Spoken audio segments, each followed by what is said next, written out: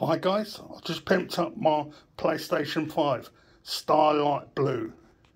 It's not the exclusive one though, ain't got the logo.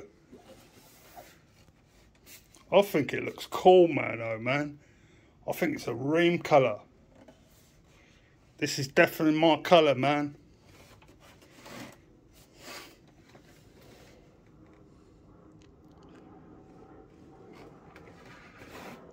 I like it better than the white ones. I think it looks cool, man.